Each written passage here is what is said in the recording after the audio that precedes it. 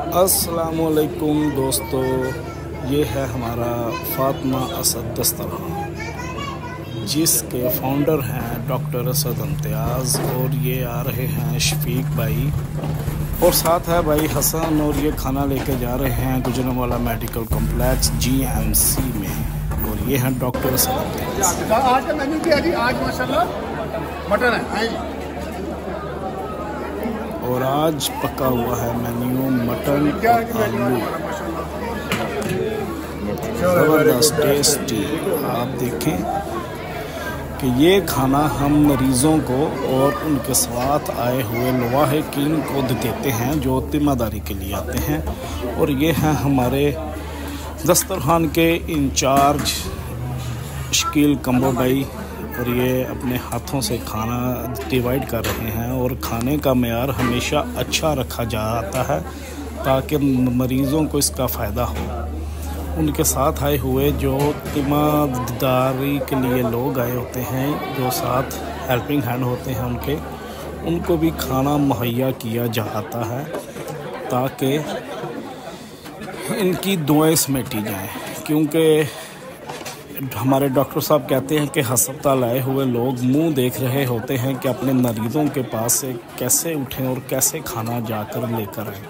और इसीलिए डॉक्टर साहब ने सोचा कि हम देंगे खाना बेड टू बेड। बिसमीम अल्लाम मैं हूँ डॉक्टर सद इम्तियाज़ और हम सब दोस्त वॉल्टियर्स आसिफ कम्बो साहब, शफीक साहब और डार साहब हमारे साथ आए हैं आज दस्तरखान पे।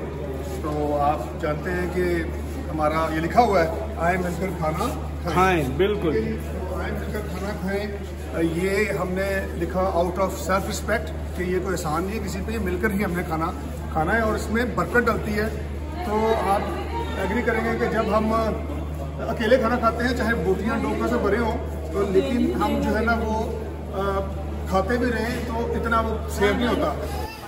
चूँकि डॉक्टर साहब की अपनी बेटी कैंसर की वजह से उनका इंतकाल हुआ और डॉक्टर साहब की बेटी की ख्वाहिश ख्वाहिश थी कि मेरे पैसों का और मेरे लिए ये खाने का अहतमाम किया जाए लोगों के लिए।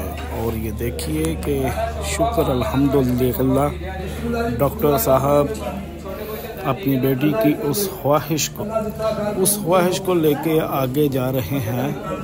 कि गरीबों में खाना खिलाया जाए। अब ये देखें कैसे कैसे मरीज़ आए हुए हैं और उनकी खिदमत की जा रही है।